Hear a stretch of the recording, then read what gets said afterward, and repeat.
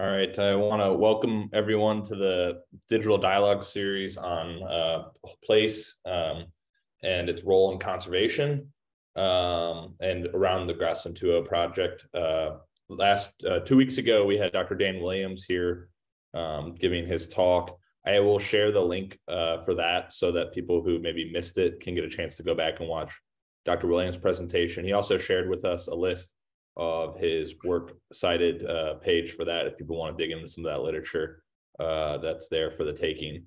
Um, but today we're excited to have Dr. Elena Bennett um, with us to talk.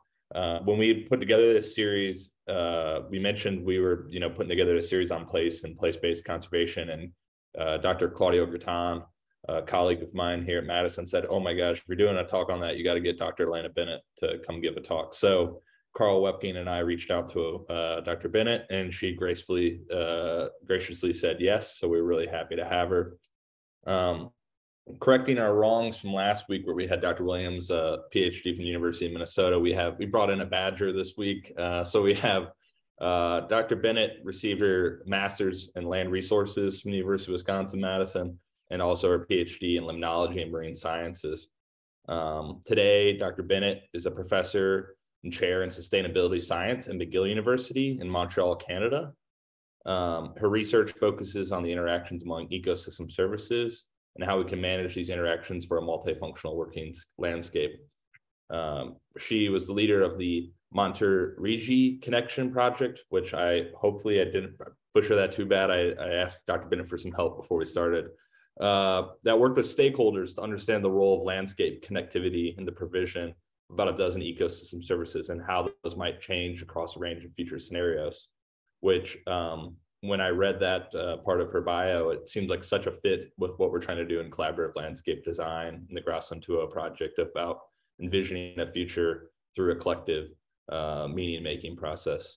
Um, so with all that in mind, we were really excited to have Dr. Bennett uh, for this series. She seems like such a great fit and uh, also a great fit with uh, the approach taken in Grassland 2.0. So with that, uh, want to welcome uh, Dr. Bennett and um, let her take the floor from here. Awesome. Thank you so much. Um, it is, I'm so excited to be here. First of all, I mean, I was hoping to like get the invitation to actually come to Wisconsin, but uh, I'll take this. I can see some folks' background with the terrace there. So that's, I'm going to take it as good enough uh, good enough for me for now, and hopefully get to come see you all in in person at some point. So let's see um, if I can share my screen here, and then we'll share that, and there we go. So um, I was really excited about this. I mean, in part, I've been following uh, this Grasslands 2.0 just with like incredible enthusiasm and excitement about what you all are doing because I'm I am just very excited about it. And in part, I've been pondering uh, taking a left turn from the science papers I normally write and writing a book about place and the importance of place in conservation. So this putting this together gave me a chance to sort of think through some of my thoughts on that. It's going to be a little bit sprawling, but hopefully just brings up some interesting uh, thoughts and ideas that we can have conversation about. So um, so I ran into this quote just the other day uh, from Teddy Roosevelt, and um, it really struck me. Uh, so the nation behaves well if it treats the natural resources as assets, which it must turn over to the next generation increased and not impaired in value, and it behaves badly if it leaves the land poor to those who came after it. That's all I mean by the phrase conservation of natural resources. Use them, but use them so that as far as possible, our children will be richer and not poorer because we have lived, um, which really resonates with me. And where I saw it actually um, was this is the quote that leads off the new US national strategy to develop statistics for environmental economic decisions. So this is kind of their approach to uh, to conservation and one way of thinking about what conservation is. And I'll just mention that strategy is open for comment. Comments are due Friday, and I would encourage you to go take a look at it and, uh, and consider commenting. Here's a totally, uh, I shouldn't say totally different. Here's another perspective uh, from a book that I'm rereading right now as I think about place. This is from Robin Wall Kimmerer. Um, and um, what she says is a worldview uh, in which land was understood as sacred as our sustainer, our pharmacy, our identity, our home, our library, the place where the moral, where we play out the moral responsibility in return for our very lives, peopled with non-human relatives. So, um, you know, a kind of different, but also place-based approach. And I have all kinds of questions about this, like, can these work in concert with one another? Do they work, does one work at one scale and another at another scale, or one at one time and another at a different time? And if so, when and how? Um, uh, because they're different and yet similar. Um, so they bring up a lot of questions for me. What I want to do today is introduce you to uh, this project called ResNet, um, which is a pan-Canadian network that I'm directing right now. It is uh, place-based, it is transdisciplinary in that we're working directly with local communities uh, about multifunctional, I've written here multifunctional agriculture. Most of our sites focus on agriculture, but some are more timber production or fisheries production or energy production.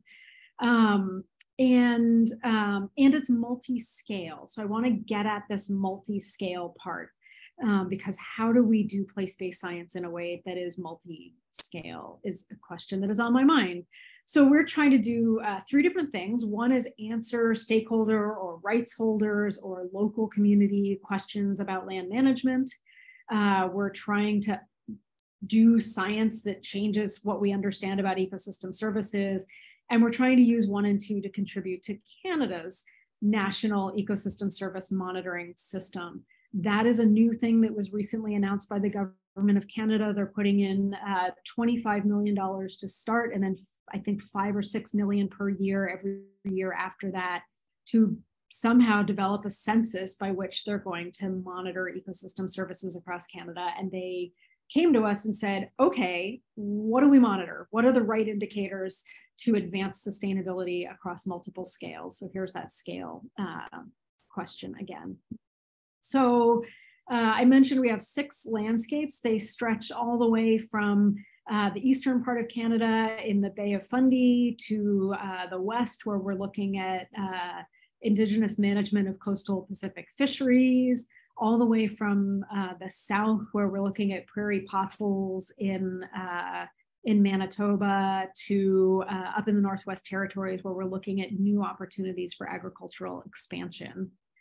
Um, and in all of these, we've uh, talked to local folks and figured out a series of different uh, ecosystem services that they're uh, interested in uh, knowing about and that we can measure in those um, in those landscapes. And I'll come back later and talk uh, a little bit more about uh, about how this works. Um, and then we have some themes that are uh, what we're able to use to try to scale up that through thinking about mapping and modeling and monitoring and uh, how do we synthesize this, um, this information through these commonalities. So I want to give you a couple more overarching thoughts about where I'm coming from uh, with all of this, where we're coming from in, in, in ResNet before I sort of jump into uh, a little bit more uh, data driven stuff. Um, so in at least a, a, fair amount of conservation science, um, we sort of argued in the proposal that we wrote that there's a lot of this kind of stuff, which I would say is like, how do people impact nature? So, you know, that's things like what I worked on for my PhD, looking at how uh, fertilizer use in uh, suburban, urban, and agricultural areas can impact water quality. Um, and there's a fair amount of, of that. There's also maybe more recently uh, a fair amount of this. That's maybe some of the stuff that I've been doing more recently, like uh, how does nature contribute to human well-being through the provision of ecosystem services? Um, and what we were arguing is that there's not so much that does both or that looks at kind of the relationships between people and nature uh, in the middle. Although I think we're seeing that more and more. And when I read through some of the grassland 2.0 stuff, I see a fair amount of that actually coming through. That's the part that I think really interests me, interests us in ResNet. Um, if I put that a different way, uh, Georgina Mace walked through kind of a different sorts of framing of conservation where in the 60s and 70s we maybe had uh, nature for itself and it was just about sort of keeping nature separate from people. You know how many parks can we create and keep people out? Um, then that moved in the 80s and 90s into okay if we can't keep people out how do we at least keep them from having a bad impact uh, on nature? Um, that then moved into with the millennium ecosystem assessment more thinking about how nature provided benefits for uh, for people. And then finally i would argue you know where we are are now which is this sort of struggle to understand people and nature together. How do we do uh, science and management and work together in a way that uh, that thinks about those uh, as mutual relationships.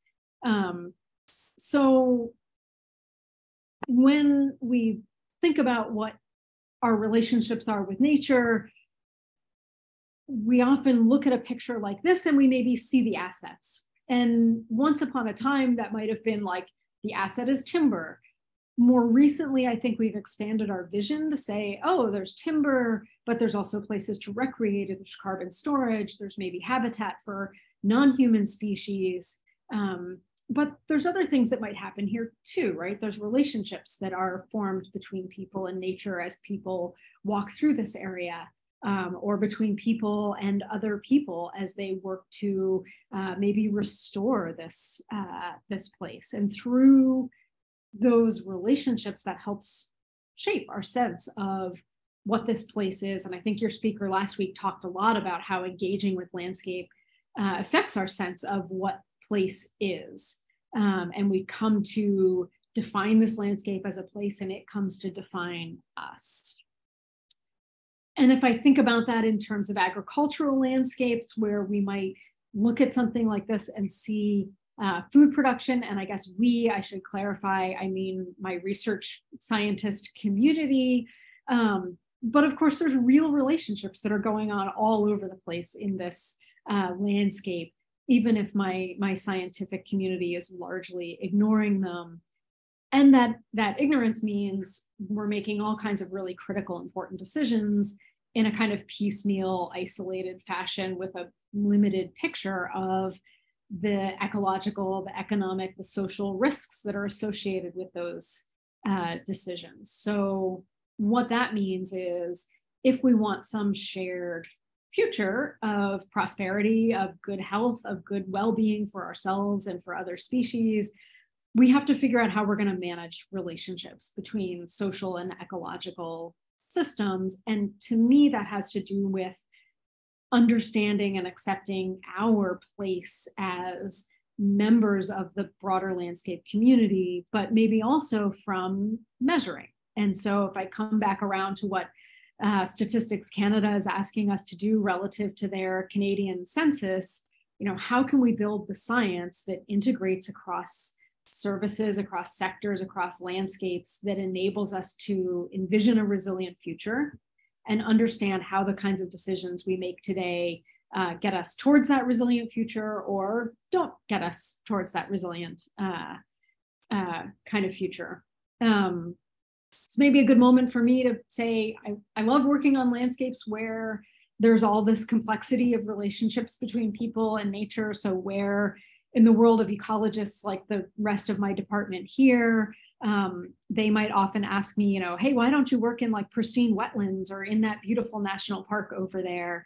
Um, but it's those places are pretty, but they're not um, they're not my place. I would say, I guess this is my place. Um, Okay, so based on my title and the things I've said so far, or maybe uh, if you know a little bit about the work that I've done, a lot of this is about using ecosystem services, the benefits that people get from nature as a way to measure or quantify those services. I do that because I think ecosystem services gives us a way to measure across space and time and sectors um, in a way that's really compelling. And I think it's um, it's a really good tool. But while it's really simple and compelling as a concept, how we actually quantify services, I think, is uh, is a lot more uh, is a lot more complex um, than that. Um, I'm actually going to skip over that for the for the time being because I want to sort of get into um, uh, some of the actual places that we've worked and what we're learning, and I'll come back to that framework again in a little bit. Um, so um, John mentioned the Montérégie connection. Um, really, actually, I sometimes say that my focus on the sort of transdisciplinary working with communities came for me from this project, but actually it came from some of the farmers that I talked to when I was doing my PhD in Wisconsin who um, very kindly, but very straightforwardly, uh, you know, told me in no uncertain terms that there was going to be another grad student out here in three or four years with a totally different idea. And meanwhile, I will have moved on to some other place uh, and they would be the ones, you know, there uh, living out the solutions in the landscape and that I needed to do a better job of, um, of listening to them. And that really opened my eyes to how much richness there was to be had in uh, in working with communities and how much um, we had to learn from each other, how much I had to learn by um, becoming a better listener. So I've spent a long time trying to do that. I hopefully am better at it now. This Montérégie Connection was a project, it was built around working with local communities. We uh, had official partners, uh, 13 mayors. Every mayor here uh, in Quebec has a land use planner who's responsible for land use planning for that municipality. And the municipalities are arranged in MRCs, which is roughly like a county. Um, you might think of it in the in the states. And so we met with these folks every four months, first to sort of co-design questions, then to come back and answer those questions, then to build scenarios. And all of it was kind of around this idea of the relationship between land use, land cover, biodiversity, and ecosystem services. This came for us um, from a couple of things. You know, so one was uh, at the time in this landscape, they had just committed to preserving 20% of the land in green space, and they were they had money to do it, and they were really hungry to try to figure out what green space uh, should be conserved or preserved, what they didn't need to worry about, what should maybe be restored, and did the sort of spatial pattern of that um, of that matter at all. This is kind of looking uh, roughly from the direction of Montreal out into this um, uh, out into this community. Um, so, you know, they had questions, or we together as a group had questions like, well, how are services provided in this landscape anyway? Um, when do I need uh, natural capital? You know, when do I need nature? When can I rely on technology to get what I need in terms of preserving, providing a service? How can we be more resilient to different changes that are happening in this landscape that are coming from afar? Might be economic, might be uh, ecological, uh, might be social. Uh, and then what's the best land use plan for us given demands now and likely future um, uh, demands for this region. Uh, so, you know, for example, if I think about it in terms of uh, these ecosystem service uh, bundles, where the length of this, of this petal tells you how much of a service is provided. So a long petal means a lot of service you know, they kind of said, okay, well, I can look at this part of the landscape and say that there's a lot of forest recreation going on on this mountain and some carbon sequestration and uh, and things, um, but maybe not a lot of, of agriculture happening. Uh, there's maybe a different landscape with a lot of agriculture or yet another landscape with uh, really beautiful lakes and good water quality. And they kind of wanted to know, well, am I limited to only those sets? Or could I, you know, is there a way down here that I could pull this crop production arrow and make it long without reducing uh, some other uh, arrow? And we decided to head into this by thinking about configuration or placement of uh, of forest on the landscape. And we did that for a few reasons. One was this question coming about where do we preserve this green space uh, on the landscape, but also just our previous knowledge that it affects a lot of, of ecosystem services. So, you know, the one that I'm most familiar with of phosphorus runoff from agricultural areas, we know that having riparian buffers can do a lot to uh, let that water move more slowly and settle some of that phosphorus into the riparian before it gets into the river.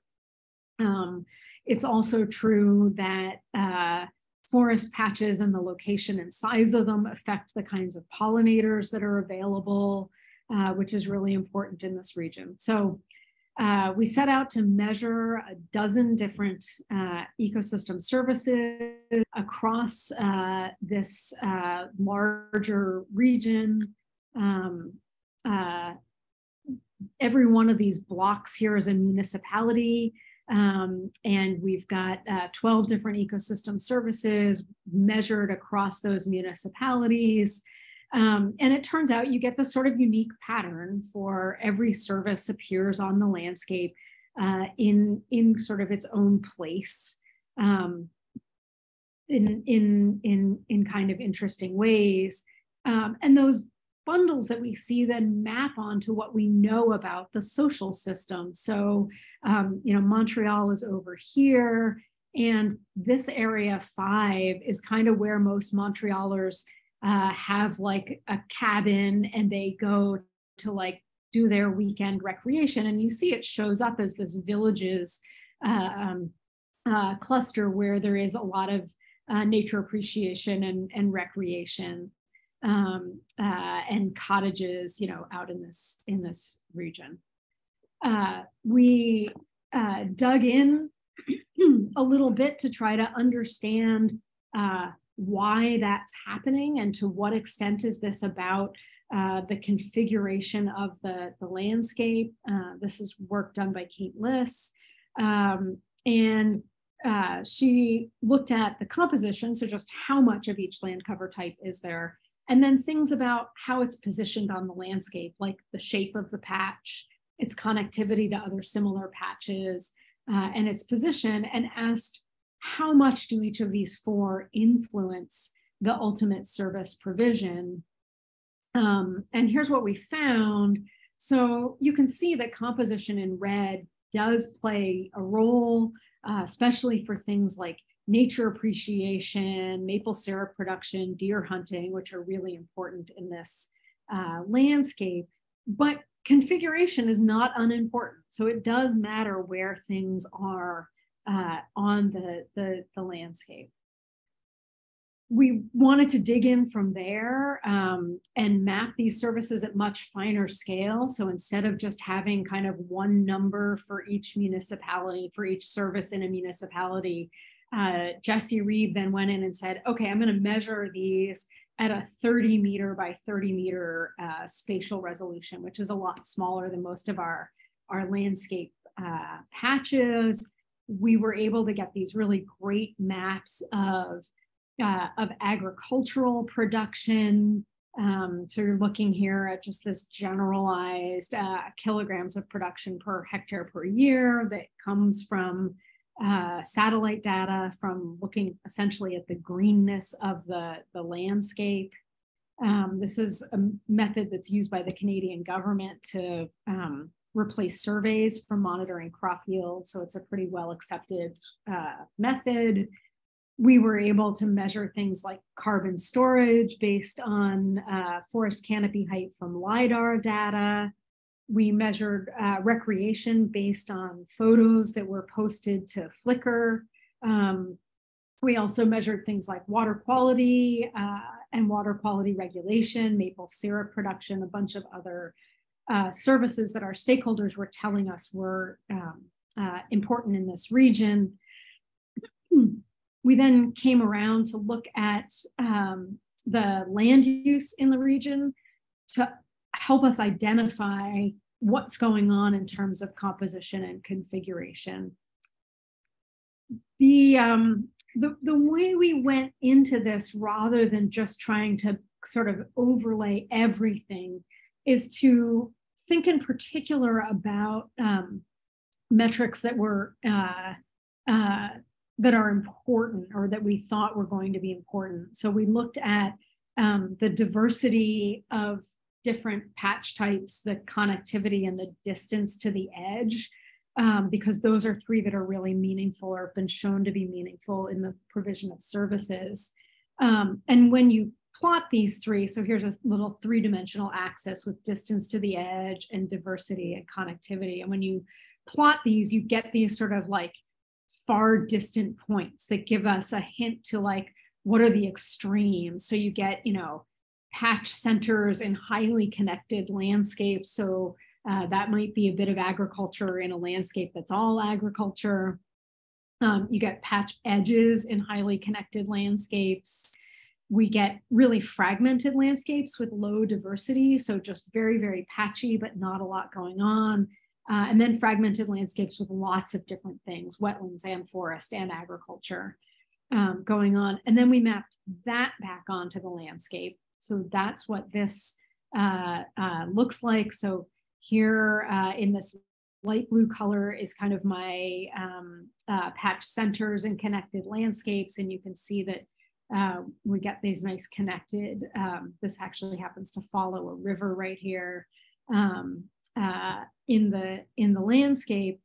And then what we did is map that back onto these ecosystem services and ask not just how services play out on this landscape, but how do the interactions between services play out uh, on this landscape? So I'll just look at one of these just to give you a sense of this. So this is the relationship between deer hunting and maple syrup. And things that are below this white line uh, are trade-offs. So that's a place where in that part of the landscape, if you have deer hunting, you're unlikely to have maple syrup provision and vice versa. And then things above this line show places where there are uh, synergies. So what's interesting to me about this is it tells me that it, just, it isn't always that deer hunting goes with maple syrup on the landscape, and it isn't always that they are opposed to each other on the landscape, but rather it depends what the configuration is. And so that tells me that we can use configuration as a lever to try to pull some of those petals, lengthen or increase the amount of a service that we get, and that we don't have to do that at the cost always at the cost of another service. Sometimes yes, but not always.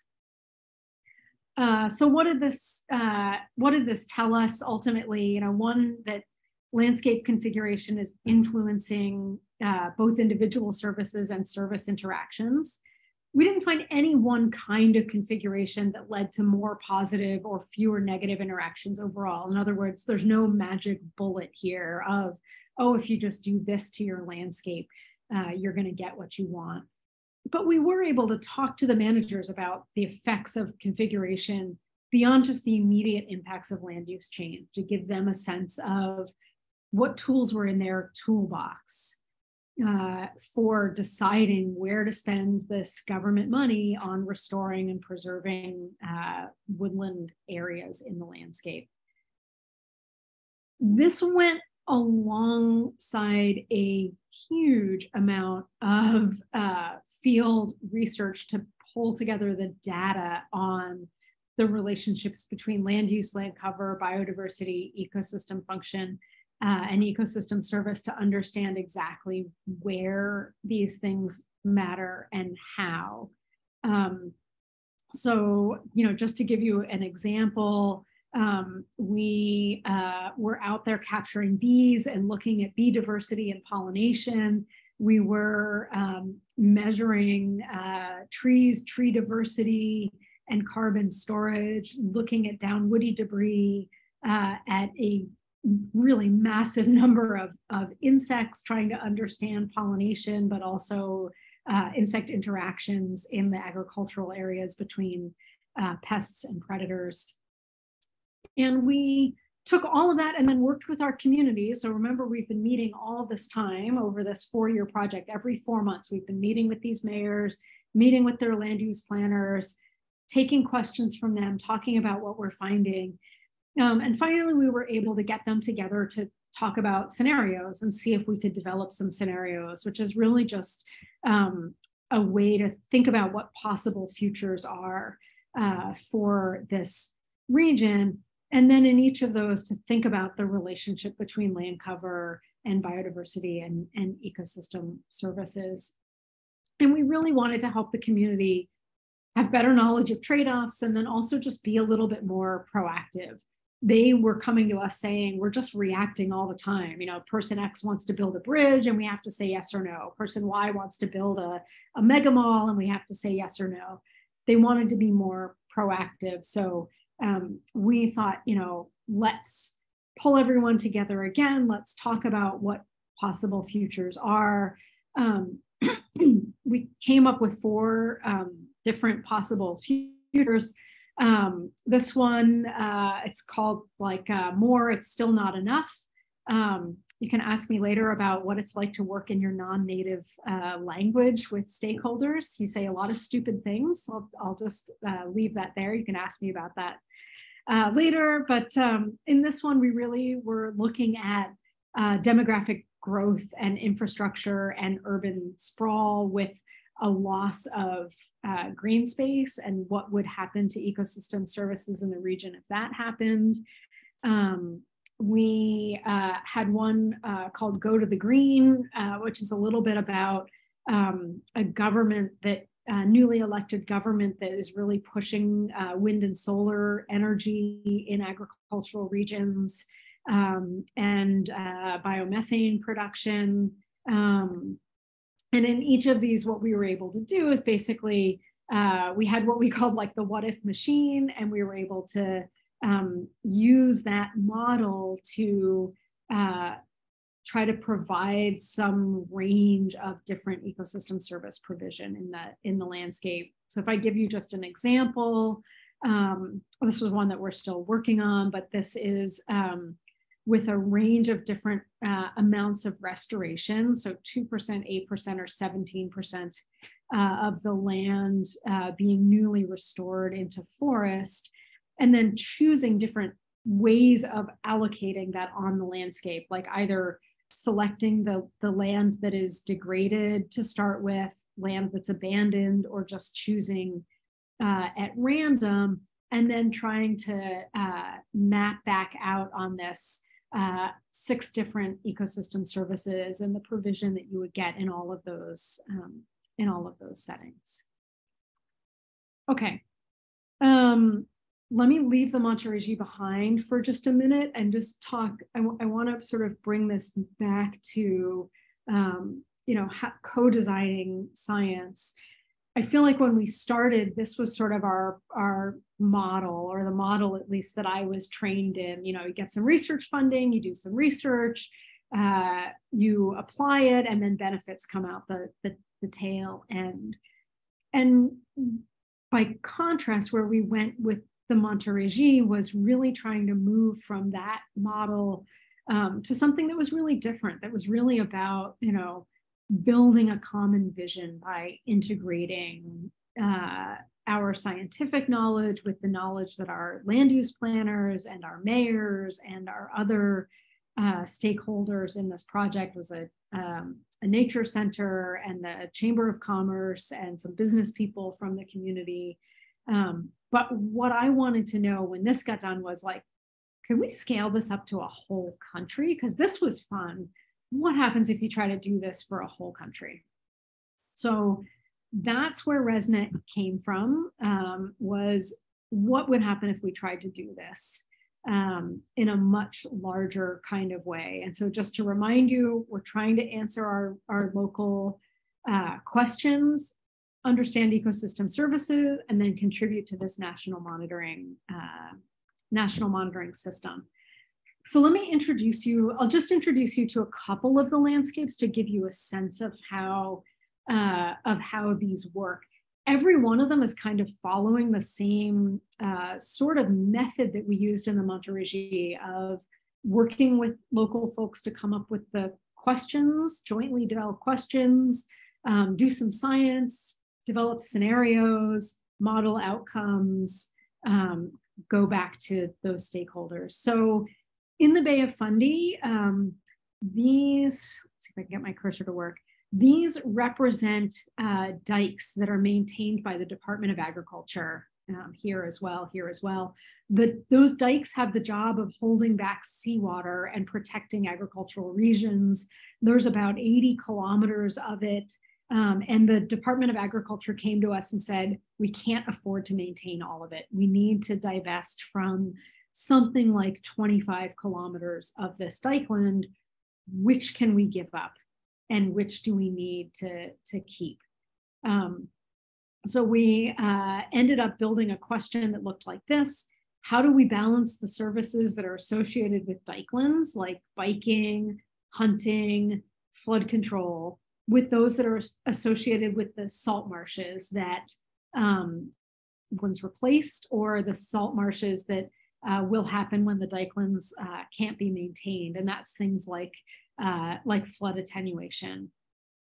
The folks leading this landscape have um, built this spaghetti diagram that is their conceptual understanding uh, of uh, both bringing together science and local stakeholders of um, how do we uh, get uh, either in the uplands or in the oceans, in the dikelands or the wetlands, through uh, anthropogenic actions and natural processes to a series of services.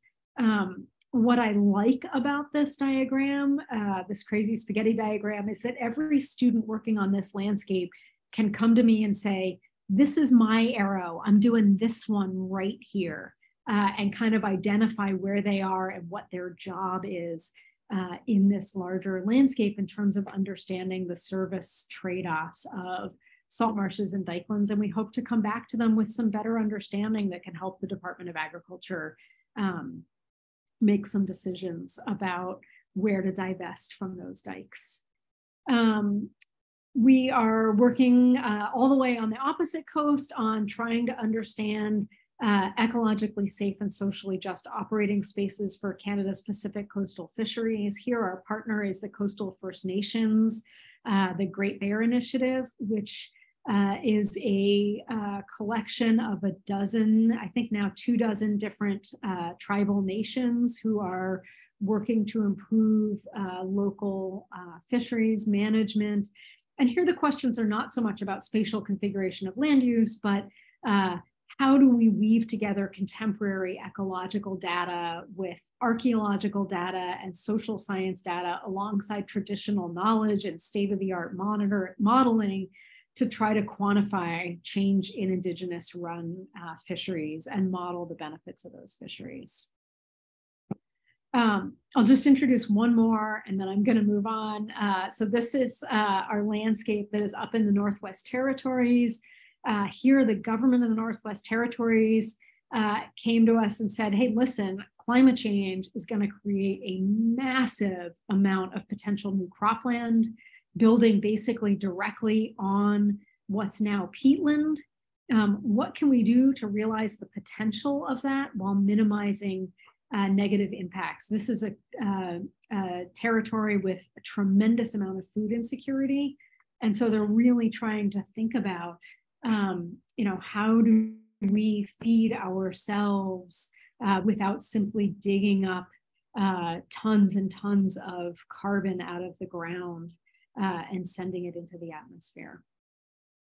Okay, so there's lots of values of doing this kind of local work. Um, that's, I think, why we do it, right? We can engage local actors, we can fit research to real questions, we know knowledge is more likely to be taken up, we know that it motivates action, we know it amplifies missing voices, it encourages cross-disciplinarity, it leads to more uh, uh, social ecological uh, integration. But you know, in our case, and and maybe in your case too, we want to do something that's more than just contributing to individual landscapes. We want to somehow address these grand challenges and learn how to scale up from what we're learning to aggregate all of this place-based work into something that's more regional or more national or even more global scale by figuring out uh, how to draw general conclusions. and I mentioned that we're really focused on this ecosystem service observatory network of Canada. You know, how do we build this thing that lets us observe or understand what's going on um, across the whole country? There are a lot of challenges to that kind of of uh, of scaling up. Like, is the knowledge transferable from one place to another? What's the infrastructure for sharing knowledge? How do you even identify representative cases? We know pretty well how to incorporate multiple knowledge systems at a local scale, but how the heck do you do it at a national scale? And how do you get timescales and priorities to align when you've got power dynamics behind everything? Um, we have some solutions to that that we're working on. So for transferability, you know, we're thinking a lot about um, uh, integrating by what we've called place, case, and process, following a similar process, using theory as a kind of lending library to organize ourselves around. Um, we've built ourselves an infrastructure for sharing that has this network of local cases, but that also scales up through these themes. Um, we uh, hopefully have uh, representative cases. In our case, we're really focused on ecosystem services and trade-offs in working landscapes. Um, some ways to incorporate multiple knowledge systems are to generalize about the importance of local or traditional knowledge. Um, and we're thinking about doing that by Indigenous knowledge represented at all scales. So, um, you know, we have that knowledge represented all the way from our board of directors all the way uh, to uh, every theme and individual landscape. Um, and then we're thinking about, you know, aligning timescales and priorities. You know, how do we work with uh, with key stakeholders from the very beginning? How do we invest in teamwork even when it sacrifices some of the short-term productivity? Um, and then how do we build multi-actor um, uh, landscape workshops to really deal with these uh, these power dynamics? Um, our themes are doing a lot of the, the work of trying to um, think about this kind of scaling, addressing questions about you know, who benefits from the provision of services and how does that change as we move across scales or as uh, services move from place to place through species movement or water movement or even through uh, trade of products from, from one place to another. So you know, I would say we're starting to engage with that question. I don't think we have a great uh, all the way uh, answer to it yet. Um, I want to use that to come back around for a second to where I started with this uh, Robin Wall Kimmerer and and uh, and Teddy Roosevelt to just say there's different approaches I think to how we think about um, place and placedness um, that I think are really important. They're fundamental to how we approach conservation, to how we approach our science, to how we approach um, just our place, our role uh, as uh, members of a place, as part of a uh, community of human and non uh, and non-human species. I, I don't have an answer yet to can you make those work together? Um, but this is my this is my going hypothesis um, of how these work together. Um, so this is a bust of a woman. It's a, a painting by Picasso, and why this is my hypothesis. You know what Picasso is famous for is drawing faces one face from multiple perspectives in the same picture and getting extra value, extra beauty from being able to see things from multiple perspectives at the same time. And so, my hope, my hypothesis is that by taking these different perspectives on uh, conservation and on our role in a place, we might be able to find ways to bring those together and to get extra beauty from the place and extra understanding of what it means to be uh, a person in a place and bring all of that to bear on conservation and on uh, management of these landscapes and places that we love.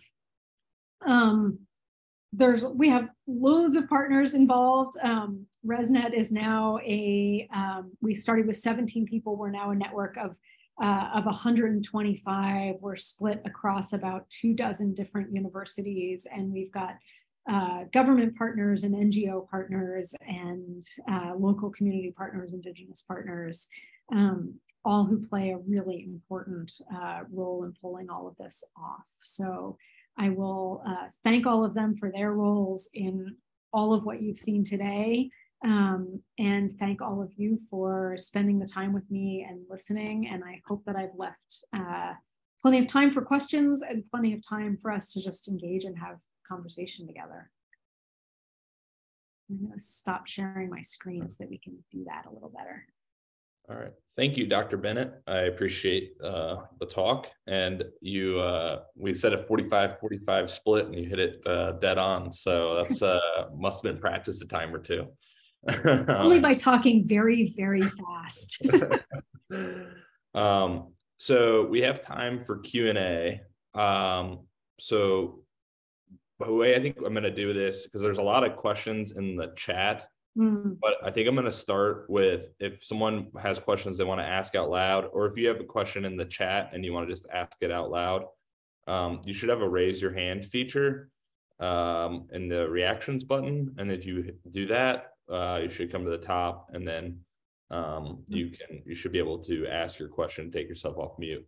When you do start asking your question, if you could just briefly introduce yourself, just so Dr. Bennett knows who you are and a little bit about yourself. So just your name and maybe where you work or or what your interests are. So I see Scott. Uh, I can't see your full name. Satter Satter Satterwait uh, has his hand up. I probably absolutely mispronounced your name, so I apologize for that. Close enough.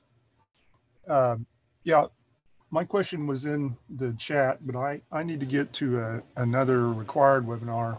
Um, Elena, one of the things that came out to me was have your the city hmm. mayors that you talked to were they interested in trying to help landowners upstream of them uh, you know increase their soil health uh, practices and those kind of things is that anything that was really talked about or or i'm not sure what your situation is our situation in our area at kansas department of health and environment is we're a private land state we're agriculturally um, driven from an economic standpoint. And, and so we don't have the ability to buy land, um, put wetlands in around communities and so forth. So we're looking at actually trying to increase the ability for farmland to absorb this water and, and reduce our runoff.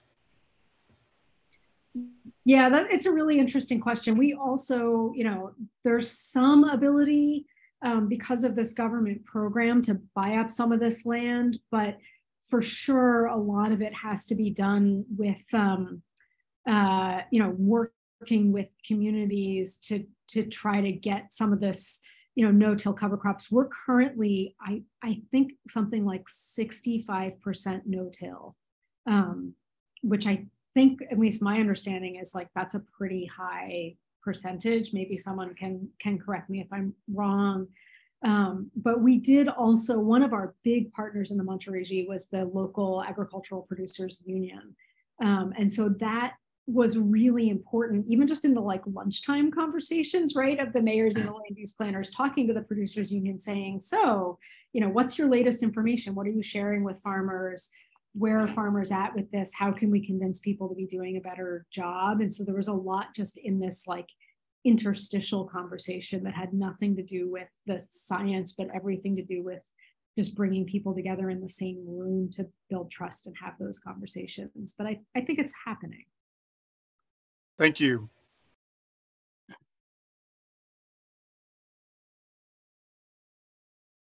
Uh, it looks like I have John Sowell has his hand up. Uh, Soul. Soul. Yep. Hello, everyone. And thank you for your presentation. I very much enjoyed it. I uh, am an ecologist and landscape architect, formerly with the U.S. National Park Service. I recently retired.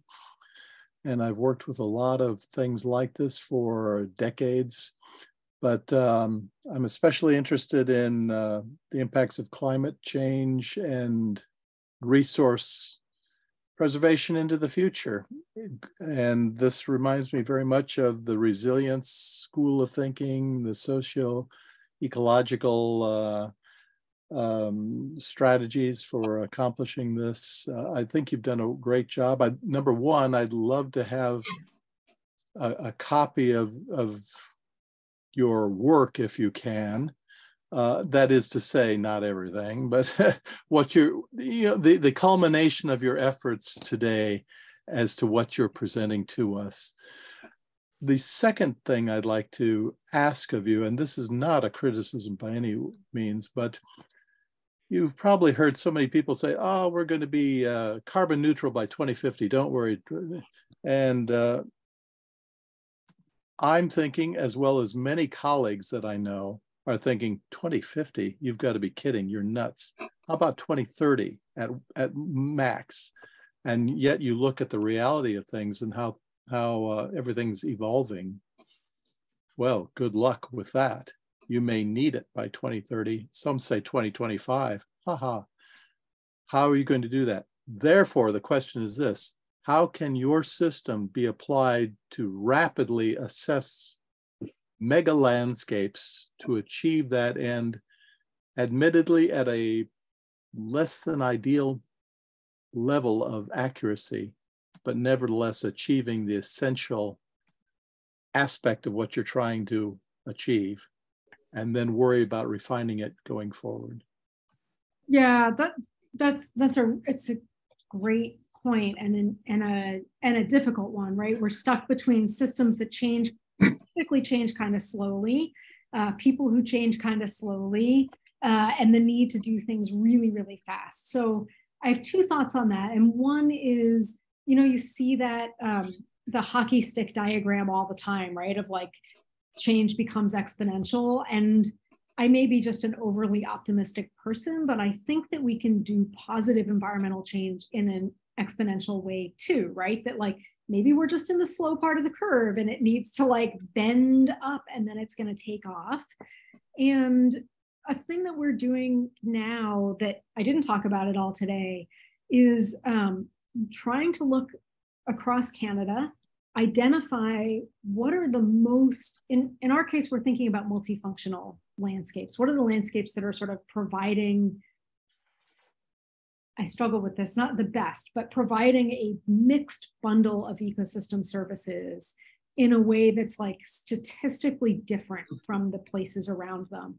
And then to mm-hmm. say well what is it that they're doing? You know is it management? Is it the way they're talking to each other? Is it that they're doing continuous no-till? Is it you know and to try to look at them as basically bright spots examples of how we can do better in in other places by contextualizing that and i think that that's a pretty powerful way to say we can do it and we're going to do it by looking at what's working and then just trying to rapid fire find out if those things can work in other places too mm-hmm.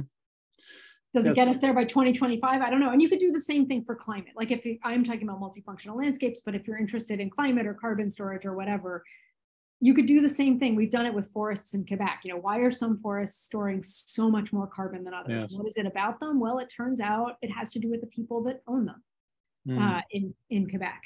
Um, yeah, and and the Canadian system is fundamentally different similar but different from the American, as I've learned uh, in working with a lot of your uh, your folks up there over time, and uh, that's good. That's also worrisome uh, from both sides of the border, and that's not a criticism. It is what it is. People are the wild card in this, and um, and that is my major worry.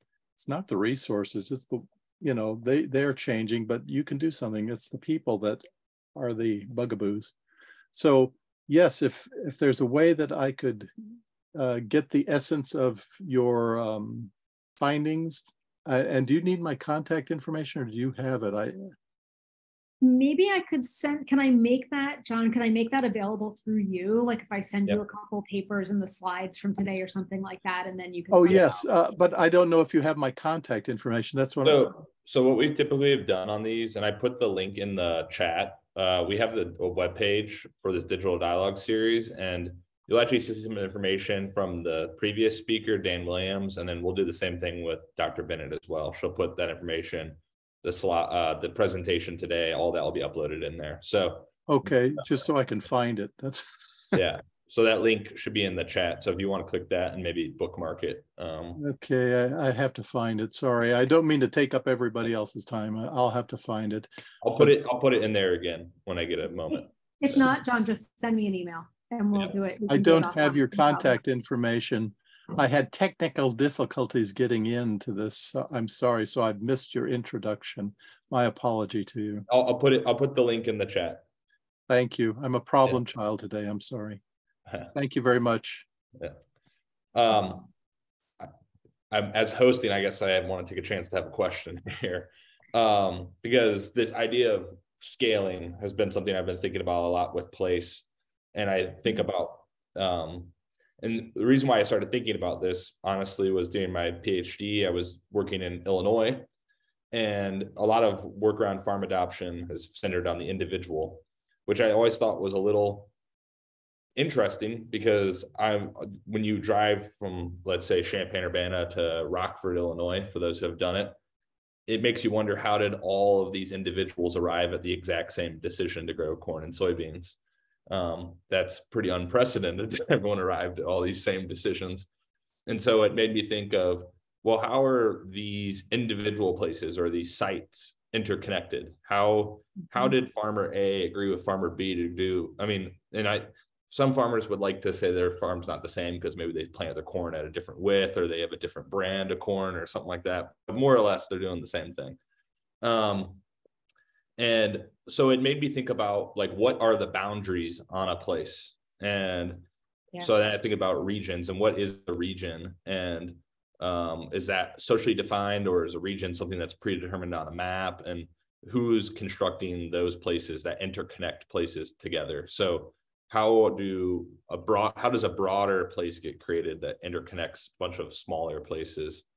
Um and so i started thinking about that. I don't know is that something you've been grappling with on these when you try to scale up and i'm thinking like that connection you drew from like montreal to the recreational i'm assuming some sort of second home cabin area and those interconnections across those places and and those boundaries like where are the boundaries to a place and are they even bounded or are those boundaries socially developed or i don't i guess maybe i'm just rambling now but i don't know what your thoughts are on that Man, I get myself totally wrapped up in this, in part because one of the things that I find so complicated is when, you know, some services are you can move, like they're fungible and you can move them around, right? So I can I can convert corn to to dollars by like selling the corn and moving it to some other place.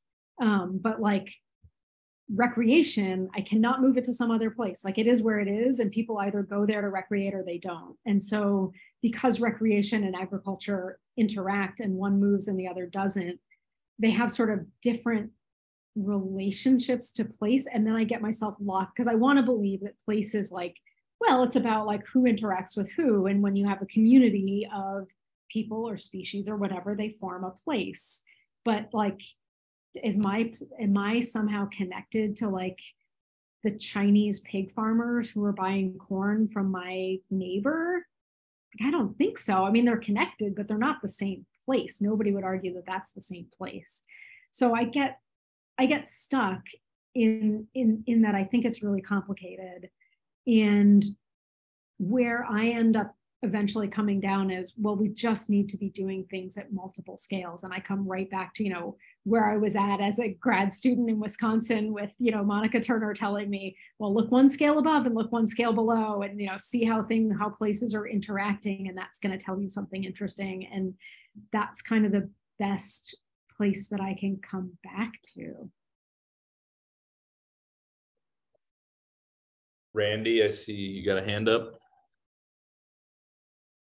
Yes, thanks, Dr. Bennett, for uh, such a wonderful presentation. It really resonates with the work that we're trying to do in Grassland 2.0. And so my question is related to that.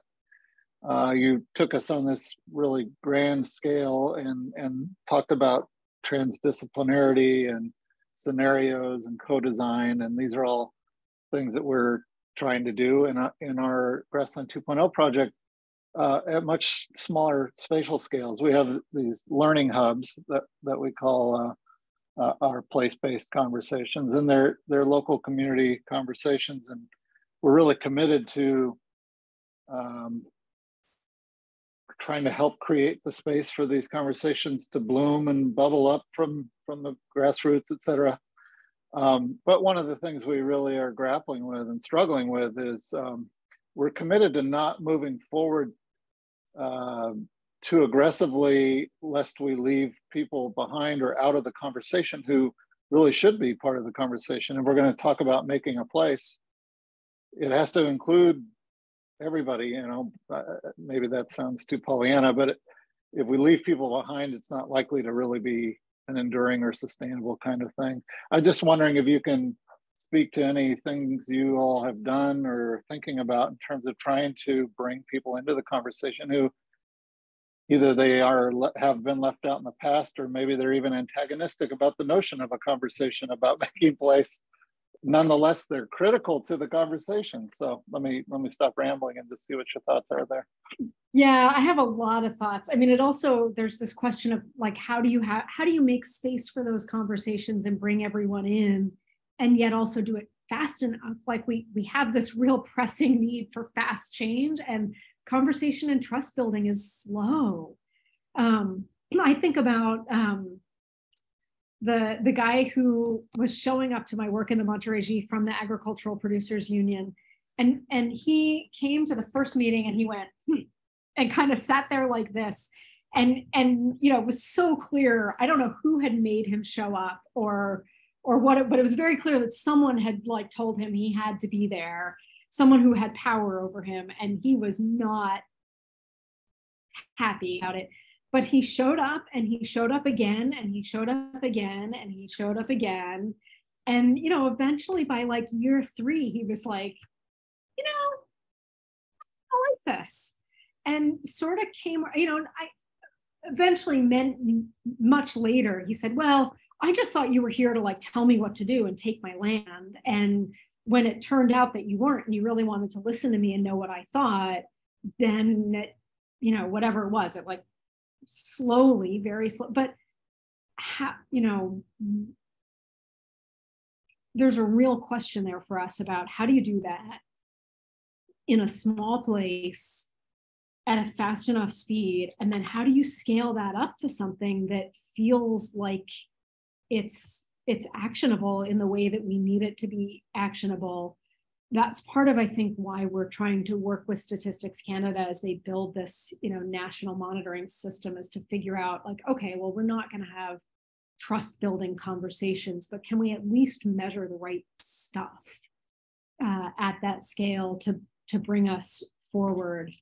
Um i you know my i think i'm not really answering your question i'm dancing all around it but you know maybe maybe the answer is let's please stay in touch because i think you all are figuring out some of the answer to that. And I think that we're hopefully figuring out some of the answer to that. And the more that we can stay in touch, maybe the the better we can just share what it is that we're learning about how to bring some of these things to scale and how to make them move uh, at a pace that seems appropriate given the, the scale and importance of the problems that we're facing.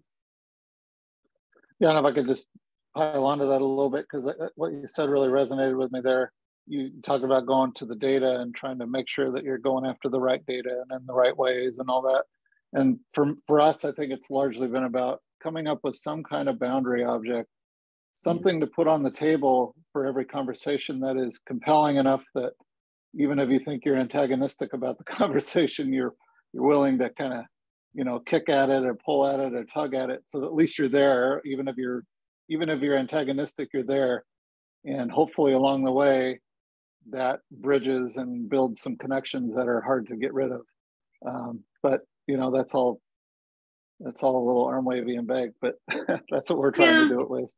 But, but important and i see someone just put into the the chat about listening and that really that was a huge lesson for me was like figuring out how to really listen, like not to come in with my agenda of what I wanted to do, but to like really listen in a way that was open um, and and to do the science in a way that was listening and that was open regardless of whatever we'd written our proposal to do. We've got some benefits in terms of the way proposals get funded and in canada we've got a little bit more space to take a turn if our stakeholders tell us that we need to take a left turn. But um, that listening piece i think is is really really key because i've seen it turn people around who are antagonistic but then when they realize they've got a place at the table that isn't just um, it isn't just for show or or for whatever but that we're we're actually taking them seriously i've just seen it time and time again turn people around so i think it's it is really important that that part and science isn't kind to it it's not structured well to make that easy to do. Claudio, I see you have a hand up. I do. Hi, Elena. Fantastic. I'm so excited that uh, that you're here telling us about your story, which has been actually quite inspirational for I think the work that we do, and um, we hope to have you know some of the successes that you have all have have had.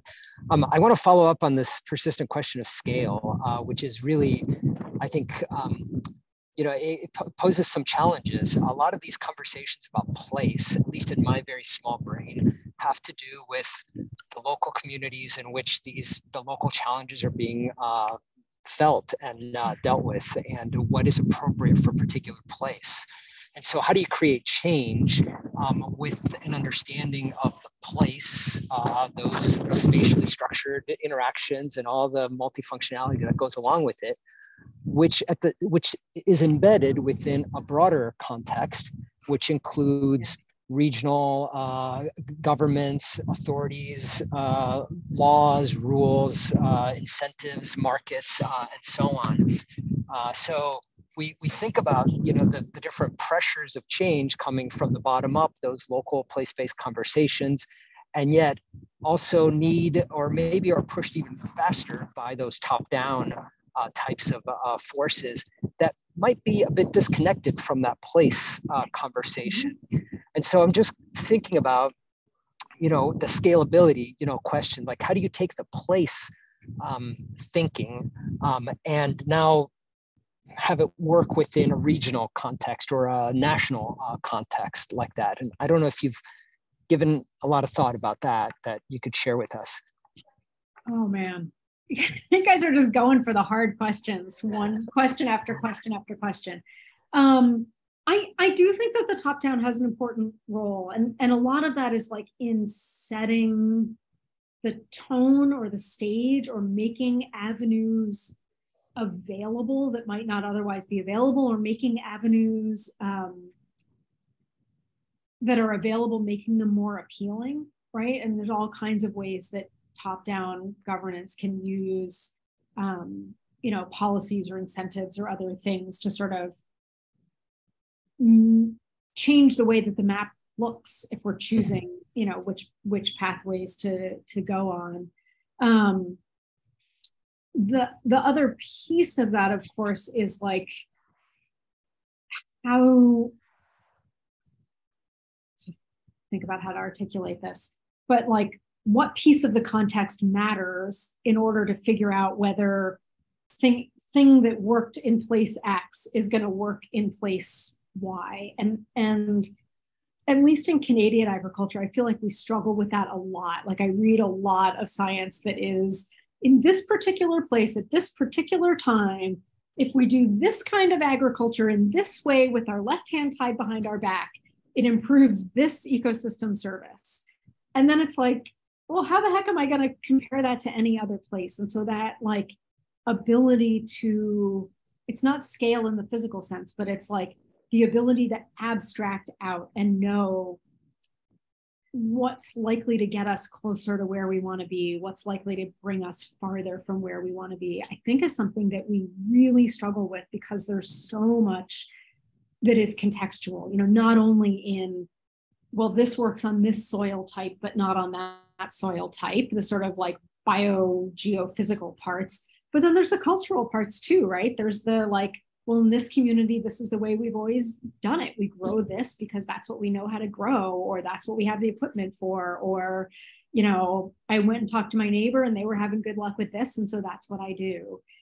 You know, those I think we're starting to learn how change works that way, but it's way, you know, it's it's stuff that I read, but it's really stuff where I rely on the sociologists and social scientists and social psychologists around me to tell me much more about how that works because it's way above my pay grade.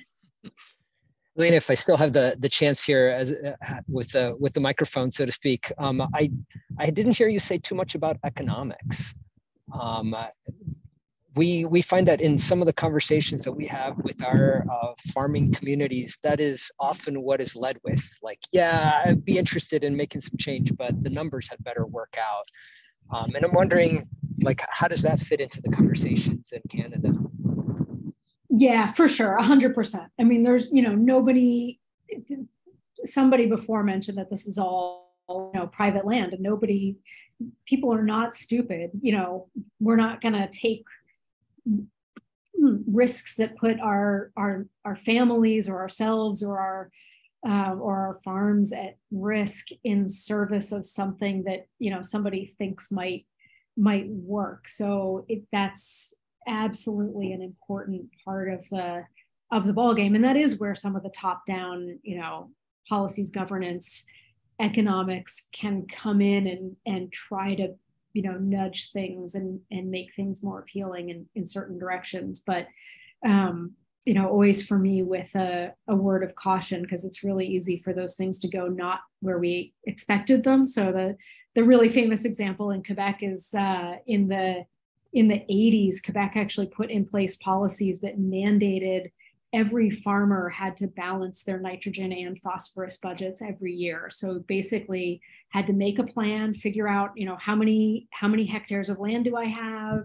How much corn or soy or whatever am I going to plant? How much phosphorus is that going to remove from the soil? That gives me how much I'm allowed to put on. Um, sounded really, you know, great, kind of advanced for the 1980s, forward thinking in terms of uh, you know, cleaning up our waterways. Uh, what immediately happened is that every farmer who had animals did a back of the envelope calculation, realized they didn't have enough land to spread their manure on, and cut down all their woodlots in order to grow more corn that they had no interest in growing, but they just needed the land to spread uh, to spread manure on. So, you know, that's a case of where this, you know, apparently good-looking top-down policy leading with um, maybe not leading with economics, but you know they got the system boundary wrong and it went a direction they didn't expect. And so I think you know there's some caution we need to have on that down that road as well.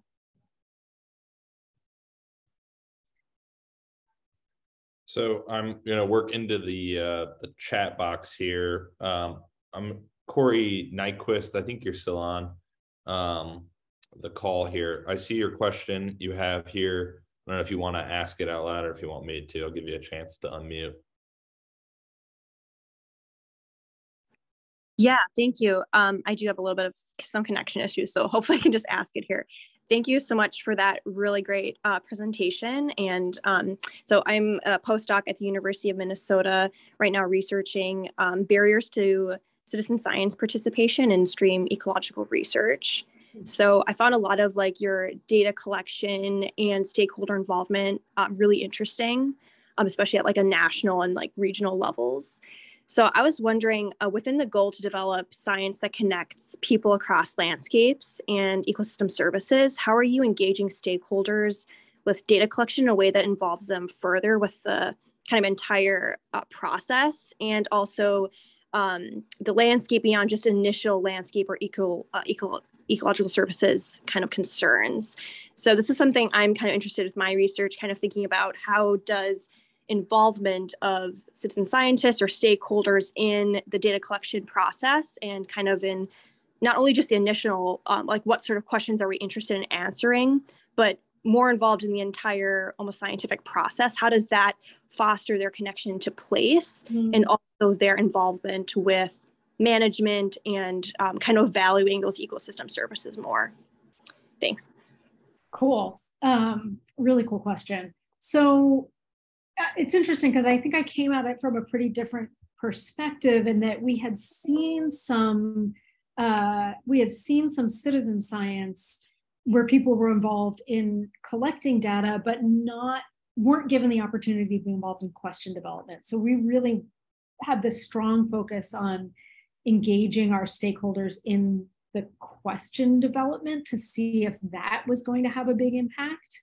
Um, we had some engagement with data collection. You know, a lot of farmers would come out with us onto their fields and, you know, they were curious about what we were finding or collecting. Um, some, but not a lot. And we didn't really do much that was like, you know, real citizen science of the kind I think that you're doing, where you where you've got people actually, you know, doing the bulk of the of the um, of the data collection. We did bring people back in with a several different activities because we were committed to having everyone come in, you know, every four months. Um, so after we had the development, we brought everybody back in, for example, and had them all role play different roles and talk about, you know, which scenario was their favorite given whatever their role was, and they had to interact with each other in a, in a variety of different ways, and and that was pretty useful to sort of, um, uh, you know, get people engaged and involved in seeing things from um, from each other's perspective. I, I'm I'll be curious to see where it goes with ResNet. You know, we're in the first couple years, and we put so much time into that kind of engagement in in the Montérégie. I'm not sure that it's realistic to ask people to do that in their own landscape. Some are um, because they're committed to doing that kind of science. Some less so. Uh, let's let's say it that way. But um, uh, you know, I it it takes a lot of time, and there's a real trade off there between you know whatever you know papers you can write or other things that you can do in that in versus the time that you spend in, engaging those those stakeholders so i'm not sure how much more stakeholder engagement we'll be able to do or at what scales. Yeah, thank you for that. That was that was really helpful. All right, uh, let me see. Julie, it looks like you just put a question in the Julie Doll just put a question in the chat. I'm wondering if you just want to go ahead and ask that. Um, yeah, I can do that. Thanks, John. So, Elena, I really appreciated your thoughts. Um, and I have kind of more of a maybe a practical question. I was involved in a mapping project with a local community, and honestly, I'm not sure how much the maps were used after the project was ended. And so, my question is related to that. It seems like it can, they can be highly resource intensive, right? And um, there's a lot of maybe resources to fund someone to create these maps and whatnot.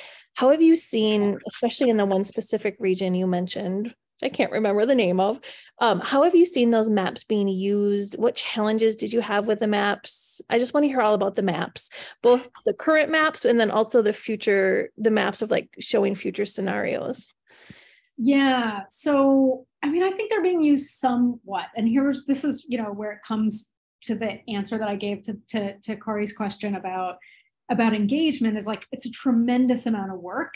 And, you know, it got used a bunch. And, and part of why it got used, we had in this nature center, we had one of our partners who was like incredibly politically savvy and knew all of these mayors and you know every time there was an election he made sure that we were talking to all of the candidates and uh, and getting in there so i think because of him this got used probably more, I would say, by the community that was already committed to environmental things and by these mayors and land use planners because they were um, mandated to be trying to preserve this green space and they just needed to figure out where and so any map was better and and they you know we had a trusting relationship that built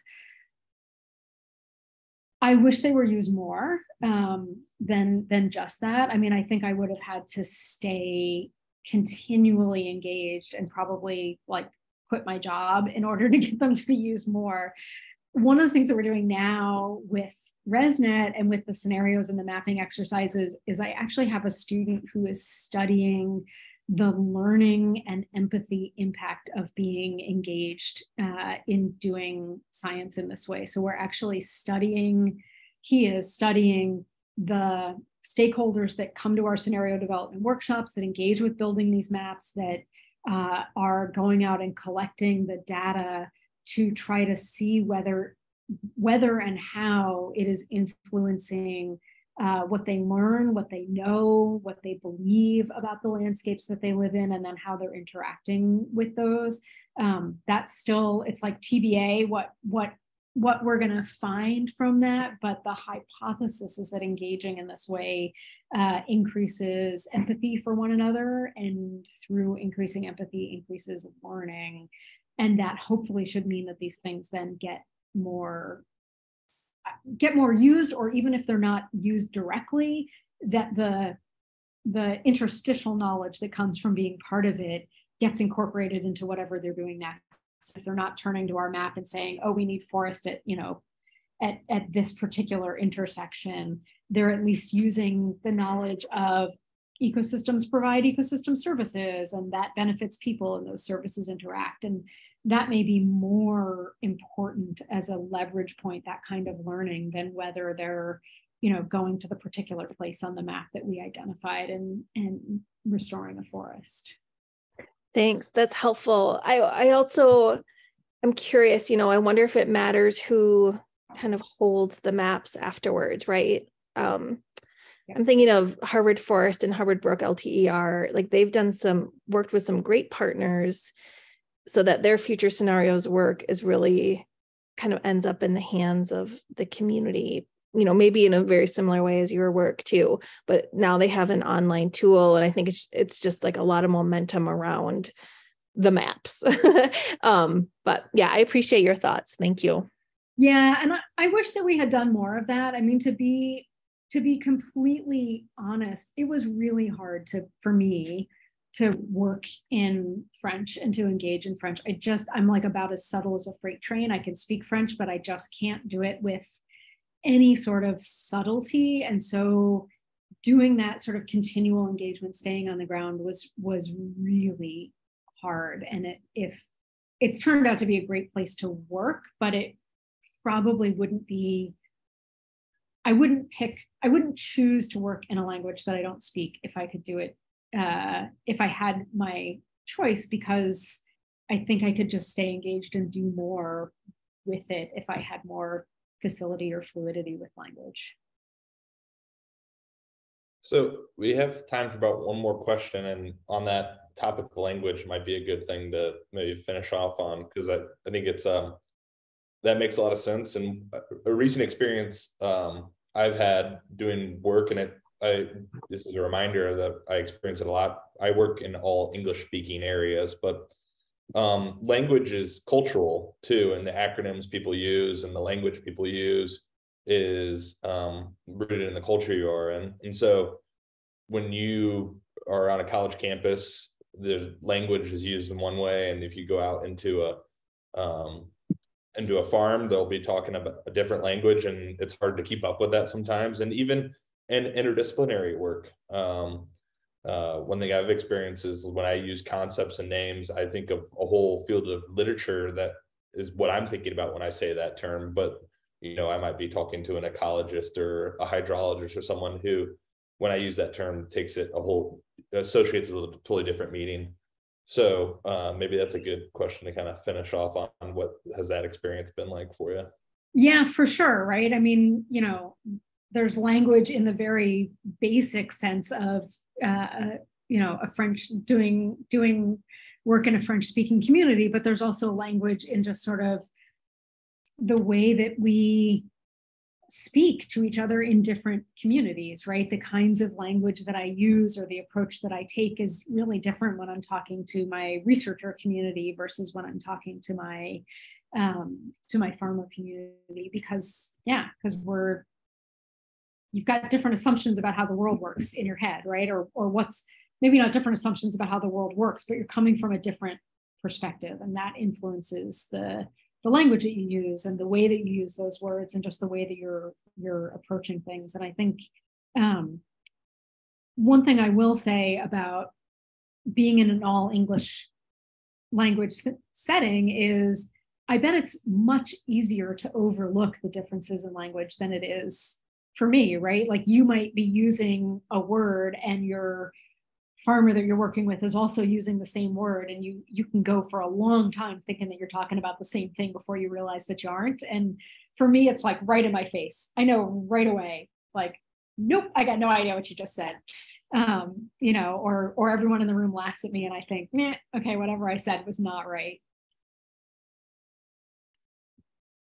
Well, that's awesome. I think we're kind of bumping up against time here. Uh, I want to thank Dr. Bennett for her talk. I always feel like Zoom into Zoom talks is always kind of weird because you kind of just disappear off into the silence instead of to a nice rounding uh, round of applause. I guess there's a couple digital round of applause here, but really appreciate uh, the talk and look forward to following up and keeping up with uh, the work up your guys' way. And hopefully we can stay in contact with one another um, as we go forward.